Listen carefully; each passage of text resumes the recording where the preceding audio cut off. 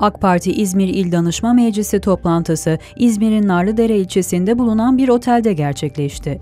Toplantıda Çalışma ve Sosyal Güvenlik Bakanı Vedat Işıkhan, Binali Yıldırım ve Hamza Dağ bir araya geldiler.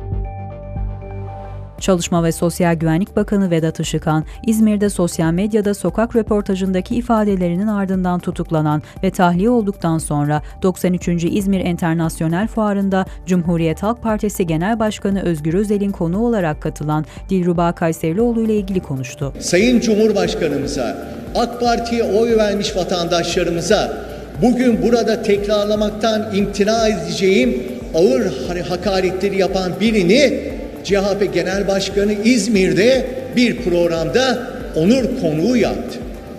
Millete hakaret edenler CHP'nin onur konuğu oluyor.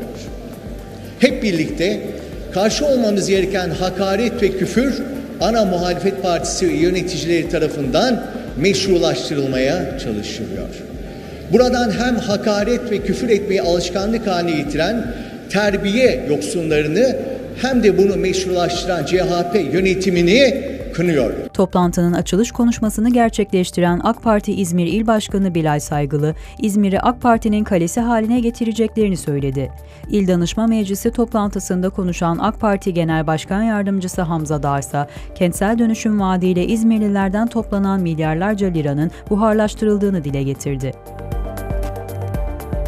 Türk Devletleri Teşkilatı Aksakallar Heyeti Başkanı Binali Yıldırım da konuşmasında AK Parti'nin oylarının 31 Mart seçimlerinde ciddi oranda azaldığına dikkat çekti. Yıldırım, partimiz ilk defa ikinci parti konumuna düştü. Halbuki biz bir sene önce %50'nin üzerinde oyla Cumhurbaşkanımızı seçmiştik. Bu kadar süre içinde niye bu düşüş oldu? Bunun üzerinde etraflıca kafa yormak mecburiyetindeyiz ifadelerini kullandı.